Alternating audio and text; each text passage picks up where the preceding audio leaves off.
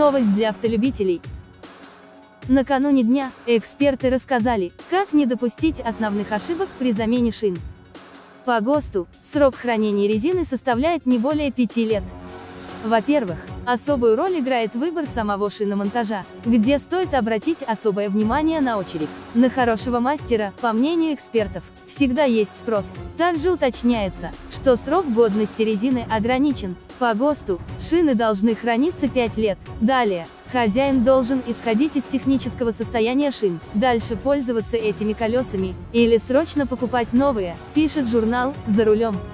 Эксперты также заявляют, шины на дисках, ставить на пол категорически запрещено, только класть в стопки, или подвешивать так, чтобы они не касались пола. При этом, неправильное хранение может привести к деформации резины, и даже формированию скрытых дефектов.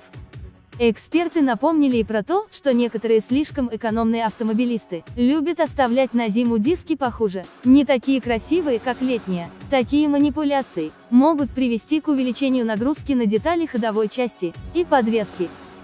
При установке колес, эксперты посоветовали водителям обращать особое внимание на обозначение на боковине шины, чтобы протектор не оказался направлен не в ту сторону, в которую изначально предусмотрел производитель. Более того, не стоит забывать и о том, что балансировку колес стоит проводить каждый год. При своевременной балансировке, детали машины будут меньше изнашиваться, заявляют эксперты.